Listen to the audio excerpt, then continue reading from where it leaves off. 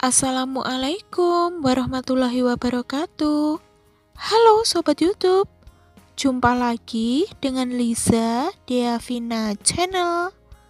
Hari ini saya mau berbagi resep semur ayam kentang dan telur. Simple dan sederhana. Ayo teman-teman, kita simak videonya.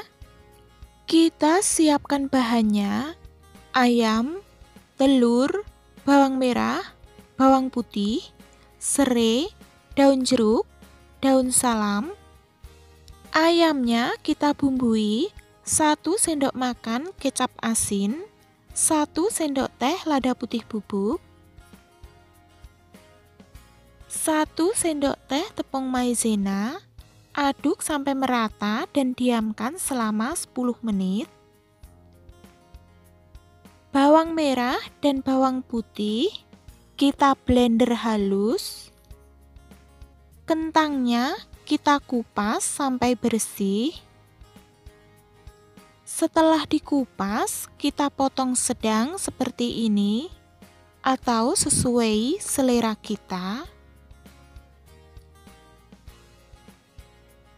Setelah bahannya sudah siap, Panaskan minyak secukupnya.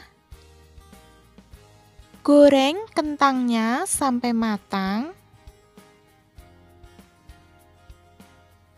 Balik di kedua sisinya agar matangnya merata.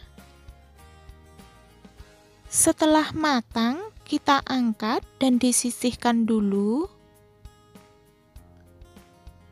Panaskan minyak secukupnya. Tumis bumbu halusnya. Masukkan daging ayam, serai, daun jeruk, daun salam. Tambahkan air secukupnya. Bumbui 1 sendok teh kaldu ayam, 1 sendok teh lada putih bubuk, 1 sendok teh kemiri bubuk, 1 sendok makan gula pasir, 1 sendok teh garam, setengah sendok teh kunyit bubuk.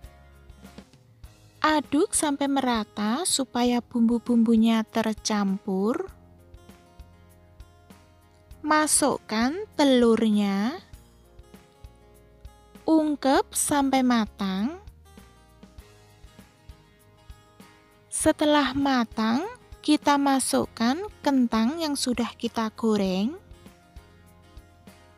Tambahkan 2 sendok makan kecap manis. Aduk sampai merata supaya tercampur dengan kecap manis. Semur ayam, kentang, dan telur mudah, simple, sudah siap untuk disajikan. Selamat mencoba. Wassalamualaikum warahmatullahi wabarakatuh.